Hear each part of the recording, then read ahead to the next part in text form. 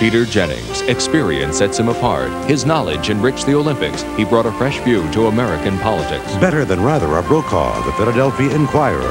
I think the best thing that can ever be said about me is that I was fair. Weeknights, ABC's World News Tonight with Peter Jennings.